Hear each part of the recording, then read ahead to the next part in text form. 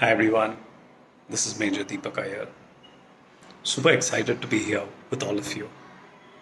And as we celebrate the Braves, one person I hugely am inspired by when I think of Brave is Rosa Parks.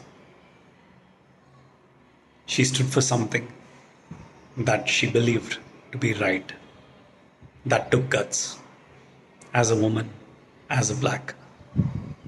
Today we can see the changes that have come because of her act of bravery. So, celebrating her and all braves everywhere. See you soon.